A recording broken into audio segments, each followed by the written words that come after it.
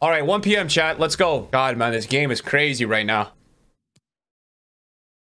Oh my god, that dynamic image is insane. What the hell?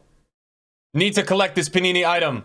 Wow. Young Chiellini. Whoa. Yo, these flashbacks are hitting so different, man. All right, what are we talking here? Medium high work rates. That's perfect. Six foot two. Perfect. Good pace. Insane interceptions. Great defensive awareness, great strength, 90 composure with 88 reactions and 80 passing. Looks like if you missed out on Koulibaly, this is your guy. Gonna be honest, does he have the dives and the tackles AI trait? Oh, he does. He does have this very important trait for center backs. Okay, what are we talking here? Eight, signature player. All right, they go into 60k again, chat. They go into 60k again. Oh, this is cheap. Oh, this is cheap. Small Electrum, small Oh, this is cheap. This is cheap, cheap. Okay, how much is this guy? This is 80k. This is 85k with the team of the week. Small Prime Gold players pack back. Small Electrum players pack back. Small Prime Electrum players back back.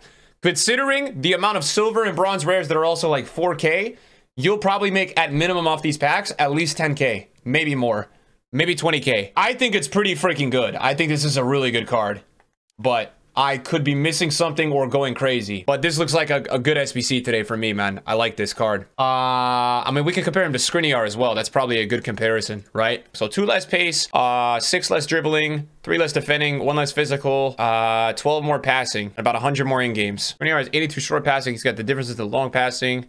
Uh, eight more balance and five more agility. So Skriniar is fake dribbling, kind of. About the same composure. Defensively, Skriniar maybe a little bit better, pretty similar. I mean, the thing is as well is like people will have fodder through crafting and stuff. So it's this is we're just talking from a sc scratch price on on Chiellini. You think you think you think compared to De Ligt, De Ligt is also very good. Um, yeah, I, I don't really know how to I don't really know how to assess these SBCs anymore, man. So I'm just gonna say it doesn't look like a bad price. Let me just I'll just say that.